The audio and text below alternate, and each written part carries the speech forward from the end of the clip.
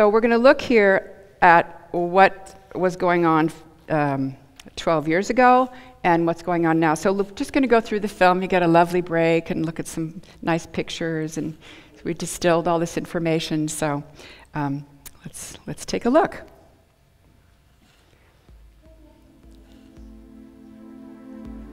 We used to be a nation of farmers. But now it's less than 2% of the population in the United States. And so a lot of us don't know what it takes to grow food.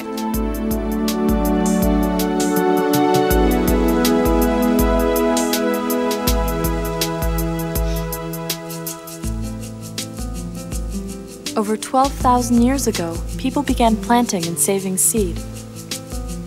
Agriculture flowered, and civilizations were born. In China, thousands of varieties of rice were grown. Over 5,000 kinds of potatoes were cultivated worldwide. In the US alone, more than 7,000 varieties of apples were grown in the 19th century. In the 20th century, the face of farming underwent a radical change. The manufacture of nitrogen-based bombs during World War I led to the development of nitrogen-based chemical fertilizers.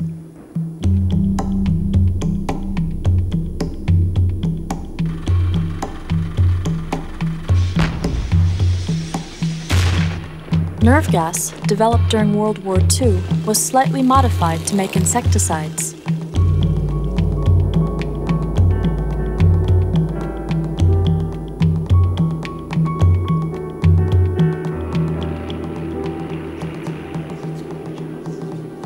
DDT was the hero of its generation.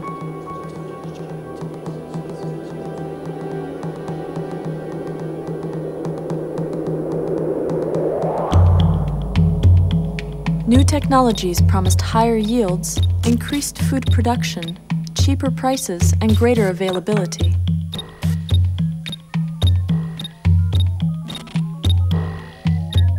By the mid-20th century, these technologies, along with new developments in plant breeding, led to the Green Revolution. I think the people who first imagined the Green Revolution had good hearts. Lots of people are starving around the planet. That's long been the case in human civilization. Their thinking was if we could just systematize agriculture like we did industry in the 1800s and bring it worldwide, bring one system that works, we can solve the problems that people have long had with agriculture. The next several decades saw a remarkable increase in production. Year after year, huge fields were planted with only one variety of crop. These monocultures created an ecological vacuum that insects and disease could exploit. This uniformity has led to some of the greatest agricultural catastrophes of mankind. In the mid-1800s, very few varieties of potatoes were cultivated in Ireland. When they became diseased, one million people died.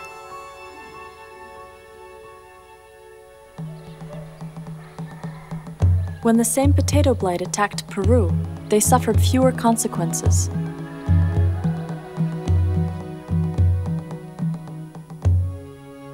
Today, only four varieties of potatoes are widely grown. 97% of the varieties of vegetables grown at the beginning of the 20th century are now extinct. Genetic uniformity leads to an increased vulnerability to insects and disease.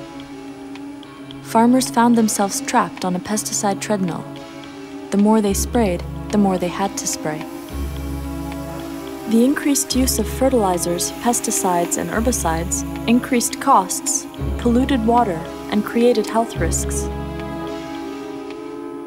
Then in the 1970s, Monsanto introduced Roundup.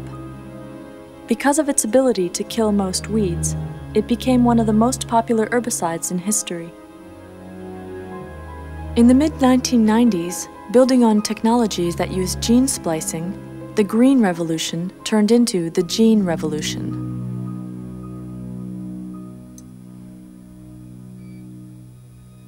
Capitalizing on the new technology, Monsanto genetically modified its seeds to be Roundup ready.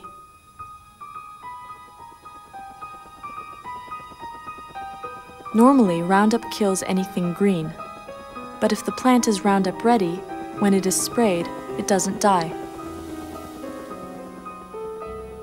Now the company that sells you the herbicide also sells you the seed. A generation ago, farmers would seed a crop and use uh, a herbicide when necessary, but often they wouldn't need to use a herbicide. And today you have a crop that, right when it goes in the ground, is designed to be sprayed.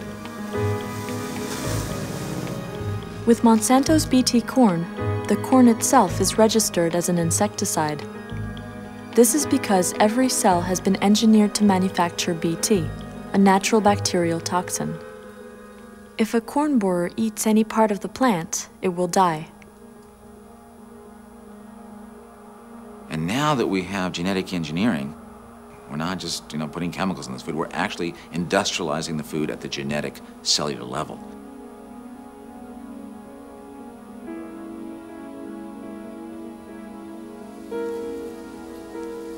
One of the most controversial aspects of the gene revolution is the patenting of seeds. There was a very good reason why, for you know, virtually 200 years, uh, the Patent Office and Congress did not allow for the patenting of life. The right to patent is guaranteed by Article 1 in the Constitution. Food crops were deliberately excluded from patenting on moral grounds. Starting in the 1930s, plant breeders were given the right to patent their work. But the patent protection did not extend to the subsequent generations of seeds. You know, clearly when you patent a tennis racket, let's say with a new sweet spot, you can describe that very accurately to the patent office. But how in the world can you describe a whole plant, much less generations down when that's changed and mutated? But in 1978, Dr. Ananda Chakrabarty took the first living organism to the patent office. Chakrabarty was an engineer for General Electric, and he uh, created an oil-eating microbe and tried to get it patented. And the U.S. Patent Office said, no way, we do not allow you to patent parts of nature. You know, if you have a tennis racket or a toaster, you can patent that, but you can't patent a part of nature. Uh, but General Electric and, and Chakrabarty were very insistent. They took it all the way to the Supreme Court one vote majority decision, they said you can patent this genetically engineered microbe. Interestingly uh, enough, uh, this oil-eating microbe was never used because even though it did uh, eat oil and oil spills, it apparently ate a lot of other things for dessert. The floodgates were now open for genetic engineering. During the Reagan administration, they said, let's patent animals. And then human genes and human body parts. I think what the companies would like to say is we are patenting the gene. And wherever that gene goes, we own anything that we put it in. If it goes into a plant, we own the plant. If it goes into an animal, we own the animal. Uh, they might even say around the world, if it goes into a human being, we own that human being. There would be some constitutional problems with that in the United States. But they would, clearly would want their patent to follow the gene. The issue of patenting life has never been voted on by the people or the Congress of the United States. It actually means giving corporations, incredibly, the power to own, control the species of the earth. While corporations were patenting everything under the sun, they were also busy in another area starting in about 1995, the stock market was running up and Monsanto was buying up uh, seed companies and DuPont was buying Pioneer and there was this, basically the U.S. pesticide industry bought the seed industry for all intents and purposes. Monsanto spends $8 billion buying up seed companies. By the 1990s, corporations begin patenting not only GMO seeds, but seeds that haven't been genetically engineered. The only requirement is that they have not been patented before. It's one of the wonderful things about what our government has done for the years with seeds is trying to save seeds so that we can preserve biodiversity. What companies have done is gone into those seed banks, find the seeds that aren't patented, and patent them. And as long as they're the first person at the patent office, they get the patent. It is estimated that Monsanto owns 11,000 patents. Why would corporations do this? Because then they can take the one seed they want to use to replace all these seeds and it will own the marketplace.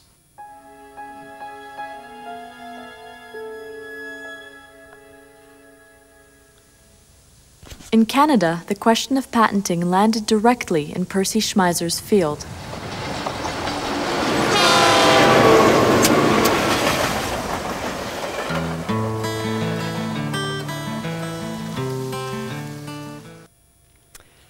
So, um, so Percy Schmeiser is a very well-known farmer that Monsanto sued, and he uh, was guilty of uh, violating their patent.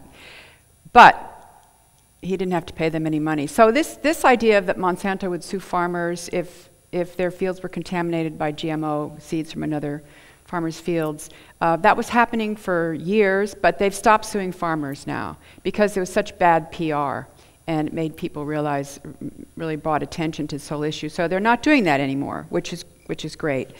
Um, to my mind, the most chilling words in this film are, for all intents and purposes, the pesticide industry bought the seed industry, when you really think about that. So let's look at what's happening now. Whoops. What did I do? Back. When did that happen? Whoops. Okay, let's go. So we go to the next one. The, the pesticide industry bought the seed industry. Here we go. This was the way it was just a year or so ago. There were six global seed and agricultural market share. These are the seeds. These are the agrochemical companies. The big ones are Syngenta, Monsanto, Dow, DuPont.